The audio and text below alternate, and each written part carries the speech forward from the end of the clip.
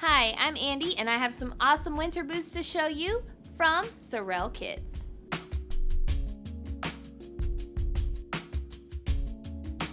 This boot is made with a durable upper. It is waterproof, which is awesome. It does have this lace design here on the front with a toggle closure to provide a perfect and secure fit.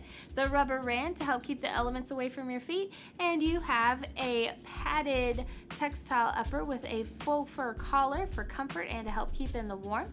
It is rated to negative 40 degrees Fahrenheit and includes a padded footbed and even a textured outsole. It's super flexible too.